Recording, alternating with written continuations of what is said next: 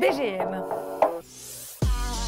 Jean-Claude Casatsu, c'est un ami. Tous les deux, euh, évidemment, on aime euh, à la fois la direction d'orchestre et puis on aime Lille. Château de Chantilly.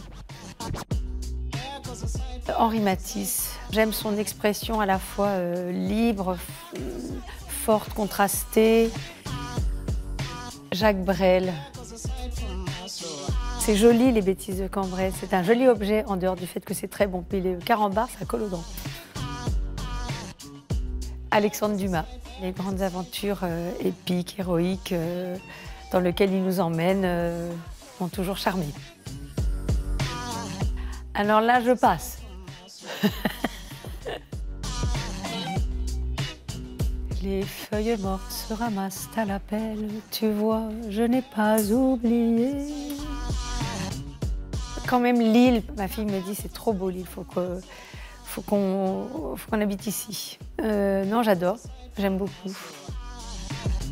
Est-ce qu'on a le droit de dire les gaufres de chez Non?